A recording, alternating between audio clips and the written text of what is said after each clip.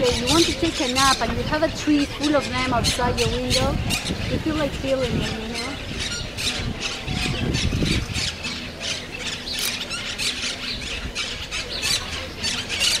The tree behind is another tripod tree, the one we saw with the fruit. That's a very old one. Funny, they're so noisy. They're And very loud. Trees, these orange trees are very old. They've been here forever. Oh, there's one. There are orange trees in there. Oh, Very finally old. take an orange picture. It's just They're hard to get it. They're like way at the top. kind of, um, Not very healthy. Still got the telephone on.